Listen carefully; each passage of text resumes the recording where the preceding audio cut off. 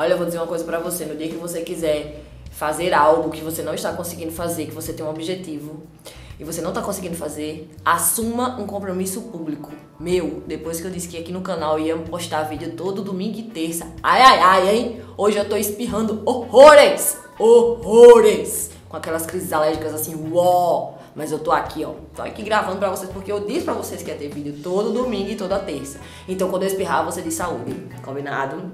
Combinado. Roda a vinheta.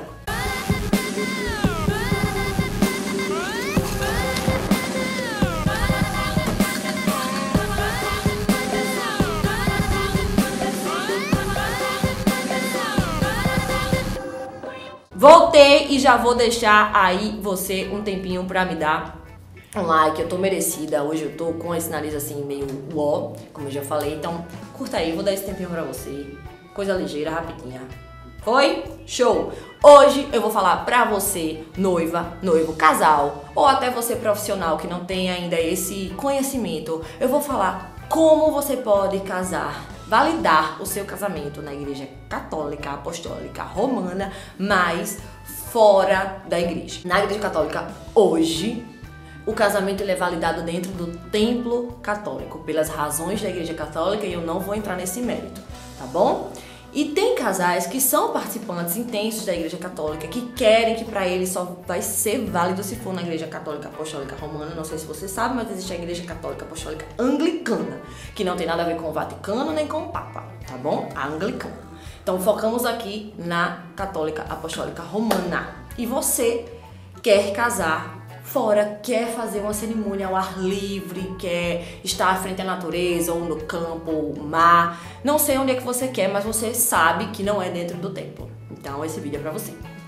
Ok, recentemente eu tive alguns casais nessa perspectiva, nesse perfil, e entrei em contato com a diocese aqui da minha cidade, Natal RN, e tirei várias dúvidas com o diácono. Com, já falei com diáconos também, e já falei com o responsável pela diocese aqui de Natal.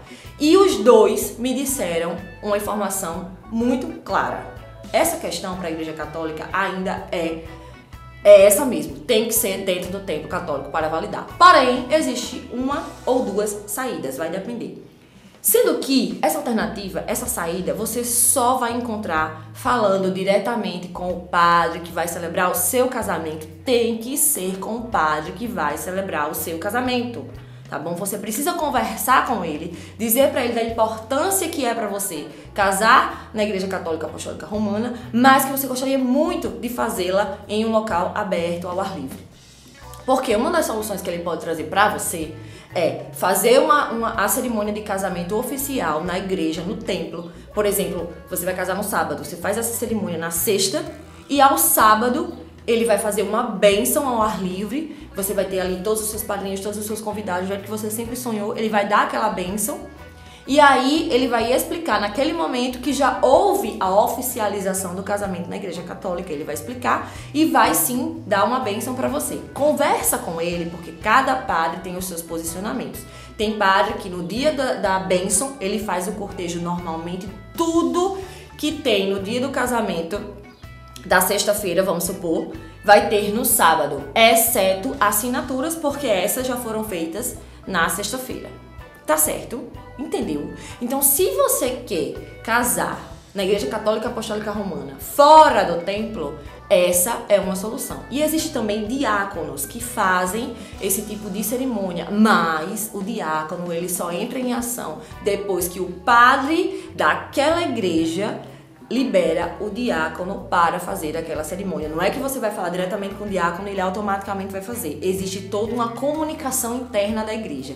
Por favor, se tem algum padre me assistindo e eu estiver equivocado em algum ponto, eu estou muito aberta a essa informação. E se você quiser, você, se eu me passa aqui, ou alguém que sabe mais dessa informação que eu, me passa aqui que eu me retrato e faço outro vídeo. Mas essas informações que eu estou dando aqui foram informações que eu recebi de padres aqui da minha localidade. Não é algo que você, ah, eu vou só falar com o padre e vou explicar para ele. Tem padres que vão ser mais abertas, abertos a esse tipo de, de, cerimônia e acordo, eu vou chamar de acordo porque é um acordo entre o celebrante e o casal. E tem padres que não são muito abertos a esse tipo de cerimônia. Então você precisa conversar com o seu celebrante, aquele que você escolheu.